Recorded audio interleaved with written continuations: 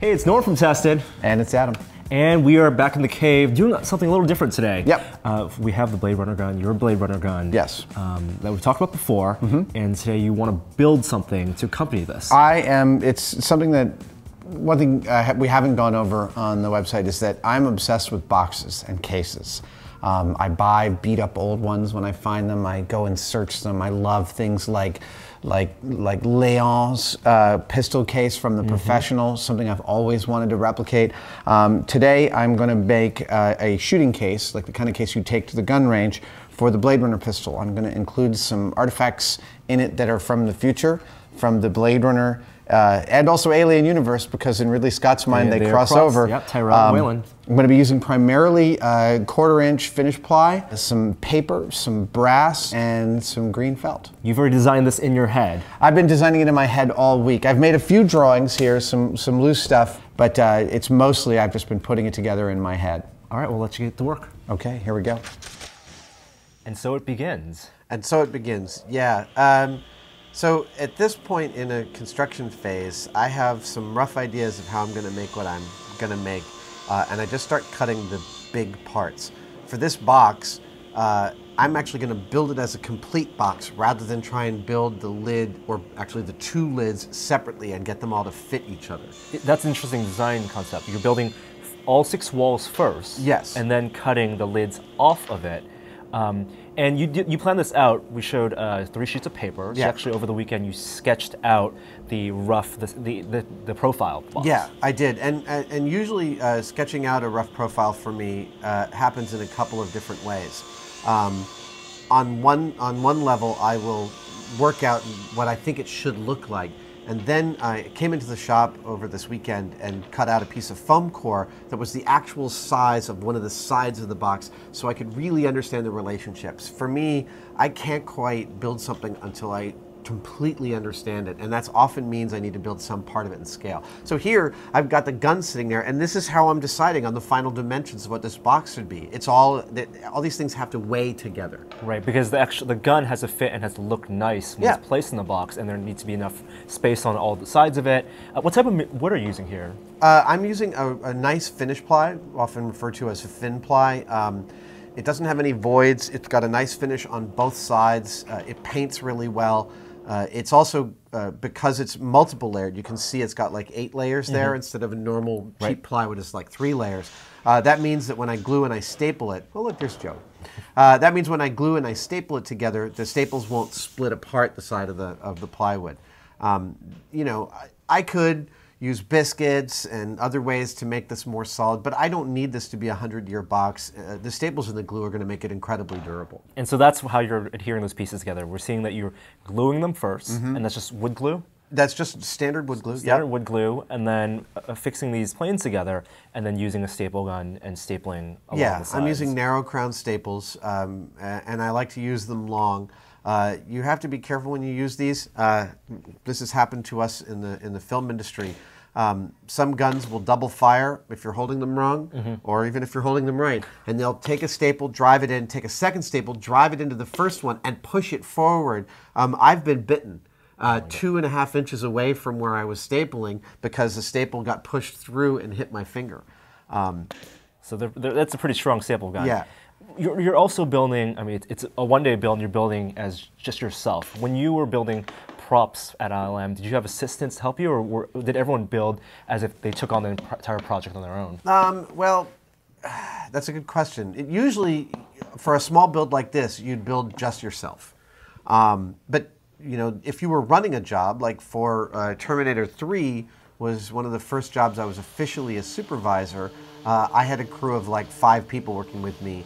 Uh, and it wasn't like they were my assistants. These are all my colleagues, and I'm just managing the project. I'm saying, okay, you go and build this interior part. You work on the lighting. You work on the painting, etc. So it's, it's the glue, staple, sand. Yes, Over and over again. Glue, staple, sand, and then that allows all the edges to be brought into some fine relationship to each other, so all the edges are nice and square. Now I'm starting to mark out where I'm going to cut this thing. Um, Yeah, this already looks like a box at this point. Yeah, and Has it's a real, sides, it's, really sturdy. solid. And with, with the with the glue, this is it's a very solid thing. And here I am again using the gun to. I learned graphic design in, in the late '80s before computers became ubiquitous in, in graphic design. And one of the things you have to do when you're doing a layout in design, and people ought to do more of this with their computer, is you have to really stand back from it and sort of blur your eyes and and see what's going on in terms of the relationships and the flow. The gestalt stuff. of the whole thing. Exactly, and that's what I'm doing right here. I'm I'm really free forming it, but this is the way I like to build. This is the way I naturally build. Um, I used to joke that uh, for most of my builds, I never use a ruler. Because everything's in relation to each other. I'm like, oh, well, this is just this piece of plywood plus two extras for the ends, and I just frame that up on the table saw, and I don't need a ruler. You have in your head the optimal ratios Right. between where the openings should be. Exactly, and you know, because from a, from 15 years in special effects, I've got a lot of yeah. See, I'm changing a line there, making decisions about where that line's going to go. This often is my favorite part about doing this kind of thing, and that's actually where I'm sort of figuring out what the backs the, the backsplash behind the gun is going to be. Uh, and again, I haven't worked through all these details yet. Now is the time I need to work through them Yeah. because I'm about to cut this box and make some parts that fit inside of it. So you don't want to plan too much in advance because you know there's going to be some wiggle room. It's not even that I don't want to plan too much in advance, it's that I can't. Okay, so now this is one of my favorite tools. This is a Japanese woodworker saw. I've got about five of them.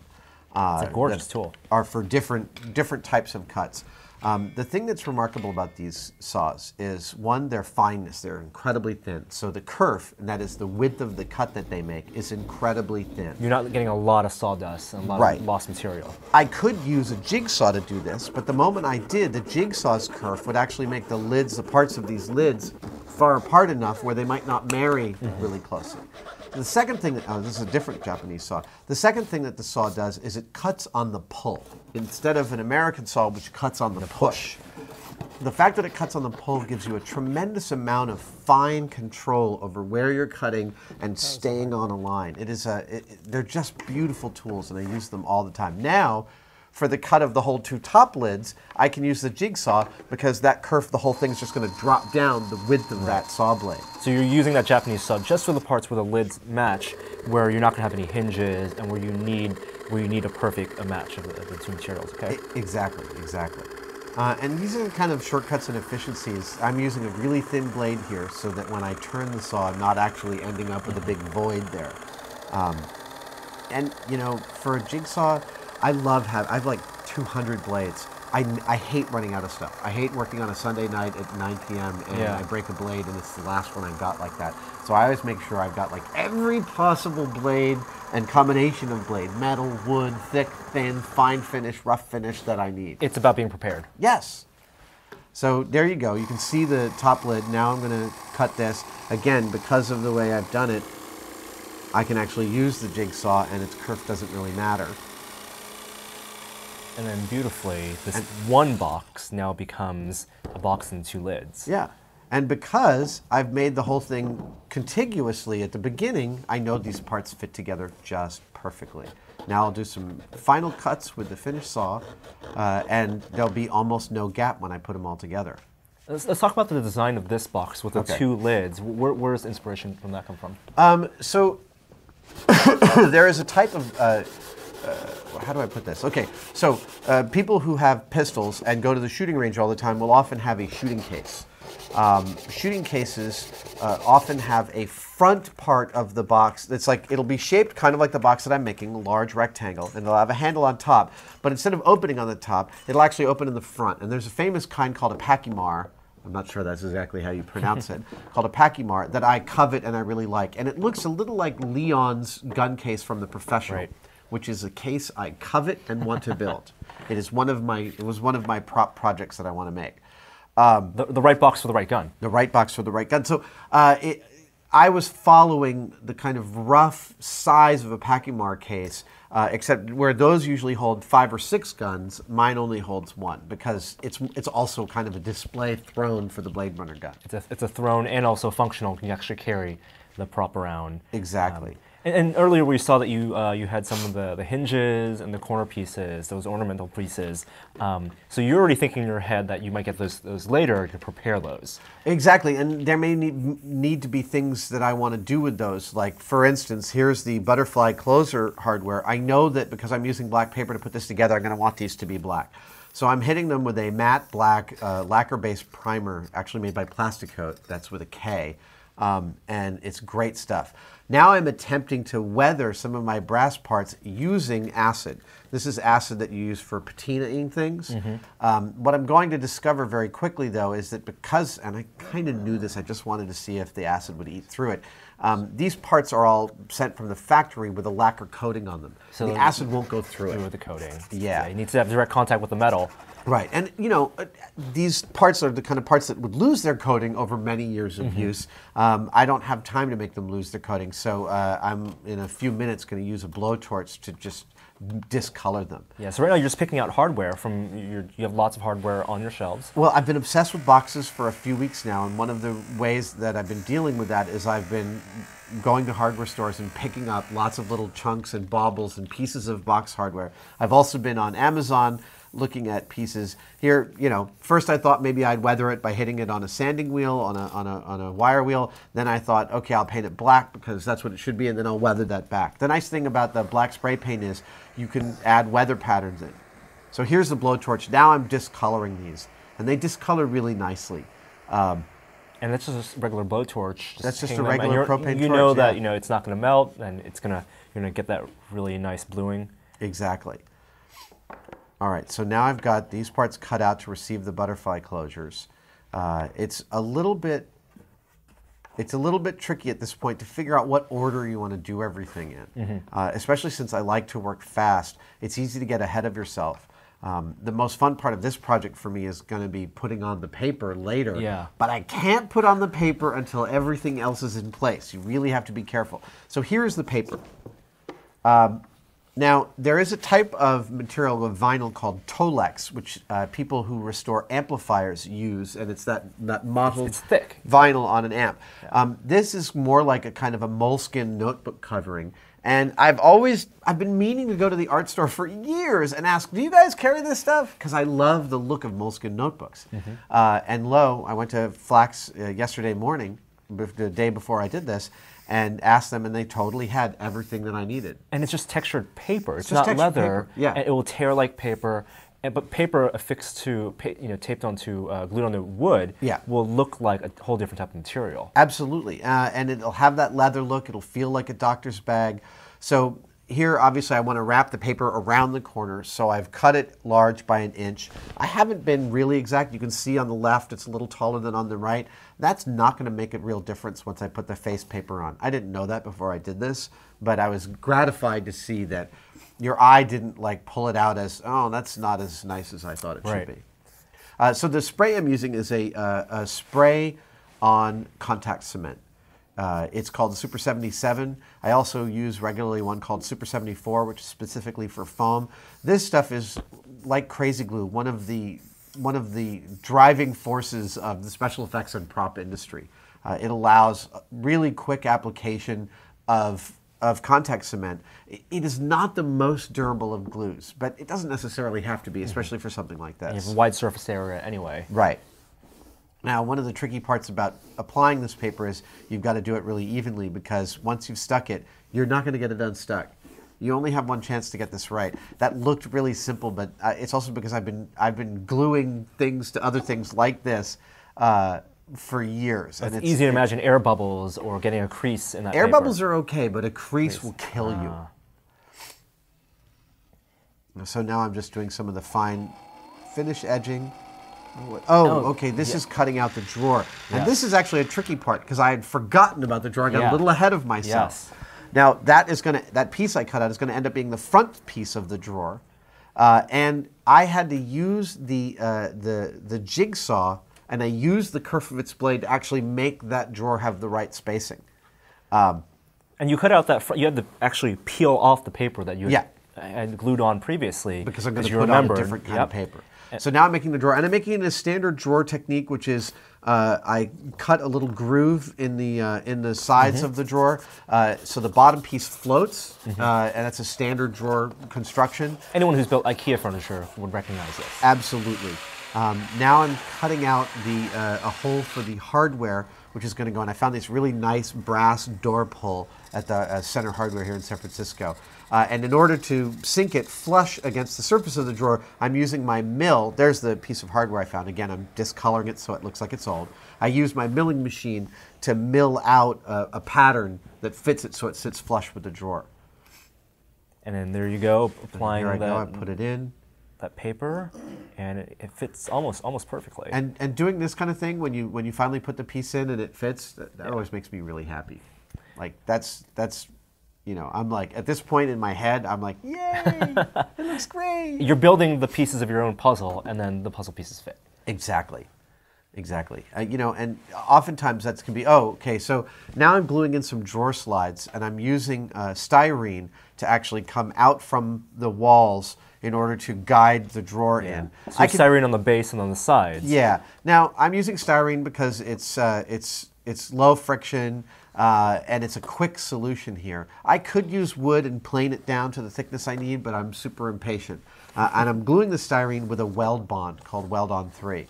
Now you can see also that the drawer fits, but uh, because I had to cut out the paper on that left side, I'm going to have to reapply paper to that whole left side in a few minutes. Uh, so you're, yeah, on the lid of the drawer, you actually have to pad it a little bit more. Exactly, exactly. I, I want that extra space between the drawer top, the drawer, the, the drawer front, and the other pieces. So now I'm attaching the paper again to a lid. I was actually surprised uh, in doing this at how long it took. I mean, I told you guys when you showed up that this was going to be like a three-hour build, and it Yeah. turned into a seven and a half Right. hour build.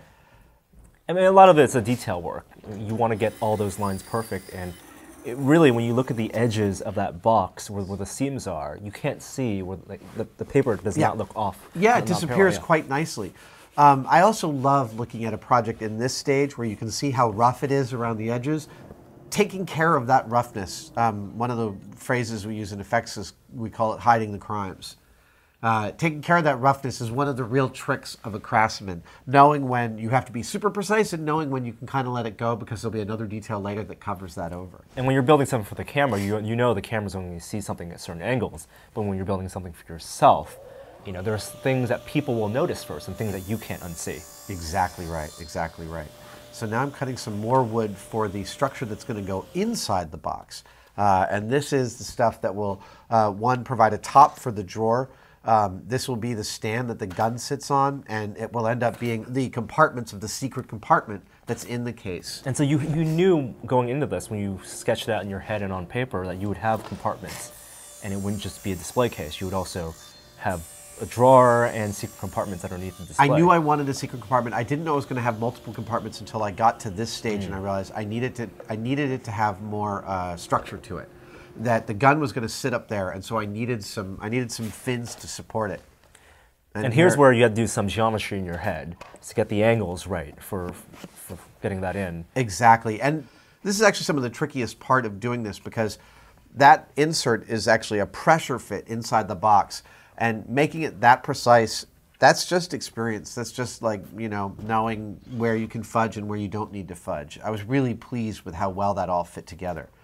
So now I'm taking what's called, uh, what you normally call piano hinge, um, and I'm cutting it to the exact length I need with my favorite tool, the Portaband. That's such a massive tool for such a simple cut. It's so nice and quiet. That's a Milwaukee cordless tool, and I swear I'd make lunch with that thing if I could. I just love it. Okay, So that's so just you're just riveting those. I'm riveting, and I'm using an air riveting tool, which I've been using a riveter since I was 14 years old. I made a suit of armor that I wore to school out of roofing aluminum. Uh, and seven or eight hundred rivets. I built my toolboxes at Industrial Light and Magic out of rivets, um, and I did all those with the hand rivet gun, which is a kind of a pump tool. Uh, this air-powered riveting gun is just such a luxury. And there, the drawer fits in really nicely. The backstop makes it really flush to the side of the box. Um, at this point, I'm really pleased with how well all the parts of the box are fitting together. And the gun's got a proper amount of headroom. Look at that. Yeah, you can already tell that once it's properly propped up in, the box, then it, it makes a great display. Yes. So now, in order to put the gun up, I'm going to use this material which we call Trupan. That's its product name, T R U P A N. Uh, it is a new growth pine uh, light density fiberboard. If you've ever used MDF, medium density fiberboard, you know it's really heavy stuff and cutting it, the dust is irritating. It's got formaldehyde in it. Uh, Trupan does not have a toxic binder in it. Um, again, it's made of new growth pine. It comes out of South America and it's one of the most useful materials we use in effects because it cuts well, it sands well, it's lightweight, uh, you can glue it, you can sand it. It's just great. It's really, really awesome material. And you can get it in all different sizes and shapes, and it's, it's a pretty big piece. Exactly. This stuff is uh, an inch and a half thick, uh, and I'm cutting it to size on my bandsaw, shaping it on my disc sander. Yeah, I'm running. I mean, it's at this point, it's pretty late in the day, and I still have a lot of work left to do. So there, that's the that's the part that will hold the base of the gun, the butt of the gun, and I'm actually accommodating for the felt that I'm actually going to line that with later.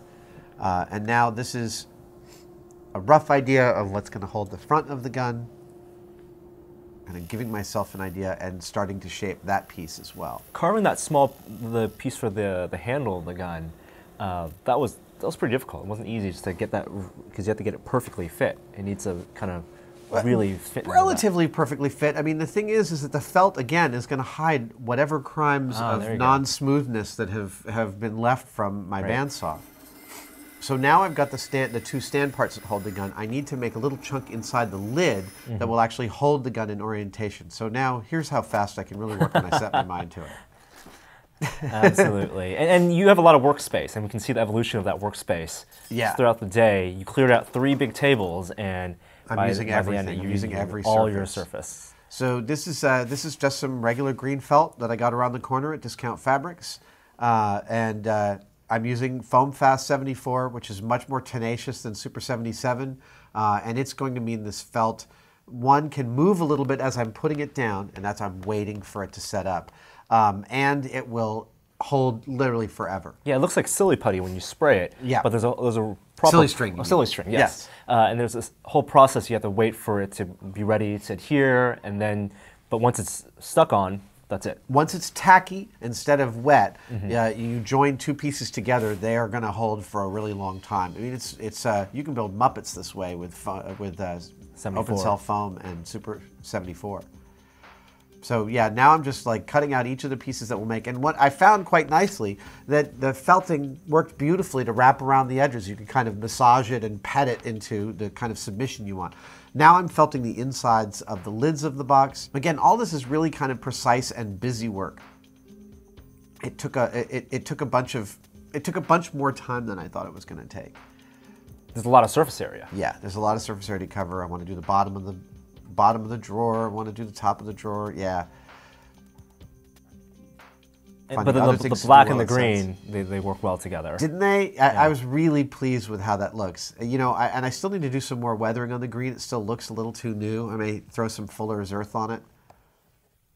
So there's me kind of massaging the felt into place, gluing in the butt for the gun. Mm-hmm. Uh, and that's glued in. uh, It's cleared underneath. So I've used uh, cyanoacrylate glue, uh, crazy glue, and that's never going to go away. That's just super, super strong. One thing I hope really comes across is how much fun you were having. It's a lot of busy work, but you were having so much fun building this box. I, this is my favorite kind of thing. Um, you know, starting off with a room full of materials and ending a day with an actual object that I coveted before that and now have is um, there's just there's few better feelings. It's why I'm a maker. You know, I, I, I, I desire that feeling. It's like a drug for me. And really now just coming together and using rivets as well. Yeah. And getting those hinges and that final piece of hardware. These, this is the hardware that earlier um, you kind of aged um, uh, with the blowtorch. Exactly. And the rivets allow me to, to, to put hinges in quarter inch wood uh, without popping through the other side, which means they won't interrupt the felt, they won't change the look of the thing. Um, in fact, uh, I'm putting crazy glue on each of those rivets in order to make sure it really grabs the wood and they really become one because it is not the most durable way to put rivets on just into wood. You normally want, if you want it to be really strong, put a backing plate on the other side, which is like a little washer for the rivet. So that's I, every time I'm putting a rivet in, I'm putting a little cyanoacrylate glue on it in order to increase the amount of strength it's holding the lids together with. Yeah, and the, the sun these- is setting, and Yes. it- it's like an episode of those cooking shows. You have the, the clock Yep. winding down, And and now I'm I'm I'm working extra fast. If you were in the room, you'd notice at this point that I'm I'm go I'm almost picking up speed because I can smell the end coming. These butterfly closures are going in. Now I'm about to put some crazy glue on and pop the rivets in. And if you look at your hands, your hands have gone from you know from Yeah. relatively clean to just There's felt band-aids, Yeah. there's glue all over them. I've been bleeding. There was a point at which I was bleeding all over the box. So now we're getting much closer. The handle, the placement of the handle in the middle, making sure it's at the balance point. I'll polish that handle a little later. You see the felt that's coming through every time I drill Mm-hmm. through. Um, I don't mind dust getting into the box. That's all also going to be part of the yeah. weathering. yeah. I mean, if the point is to have something that looks used, then Yeah. This Precisely. So now, I mean, we're really, really close to it at this point.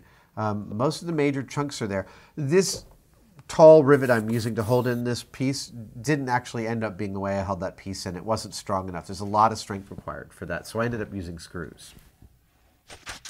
All right, so here we are. We are here. at the end of the day.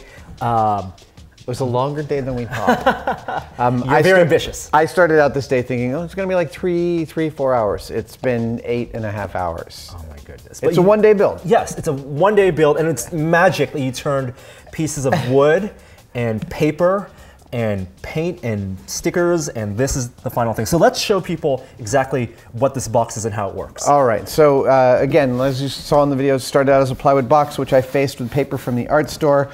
Um, now that I've added the brass fittings to uh, to go with the hinges, etc., um, I've added some stickers. Now, because this is a Blade Runner pistol case, the stickers are part of the narrative of that. Um, I've got a County of Los Angeles sticker, which I hit with clear coat. Sometimes on boxes like this, back in the 30s and the 40s, they would have almost a decal attached to the box, so I wanted that sort of look. Um, I added uh, a Weyland-Yutani sticker because Weyland-Yutani Continuity. is, yeah, Sure. the Ridley Scott universe. Um, I added some, these are graphics from Syd Mead's original graphic test sheet for Blade Runner So you went to just in your computer, your pool of resources, all sorts of some archives decals out. Yeah, printed them out on sticky paper. I buy the uh, I buy the full sheet sticky paper, full sheet labels, and very specifically, I have a laser printer for doing this Hmm. because if you use an inkjet printer, you get really nice quality, but you can't touch it with paint or, Or it'll run. yeah, yeah. So the laser printer allows me to actually beat up the labels in a much more realistic way. I included a lion sticker on the back as if that's the maker. This is actually a, a, a, type of fuel or motorcycle or auto parts from way back in the day. Um, oh, Police 995. That is from uh, that's from a Blade Runner badge, Badge, and then over here some Japanese. Um, these, I believe, if I if I remember correctly, and I don't read Japanese, the Japanese symbols here, here, and here are actually from a manual for a Nambu pistol. So they would at least say things like, here's how to use a Model 20, uh, something like that. So it's not completely off the mark.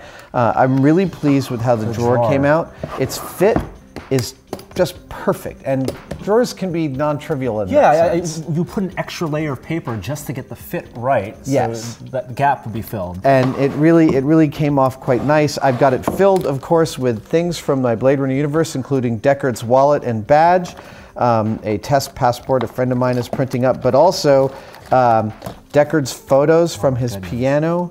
I've got. Uh, these are nice replicas of all the photos you see. No as the camera unicorns. pans. No unicorns. I have those in another box.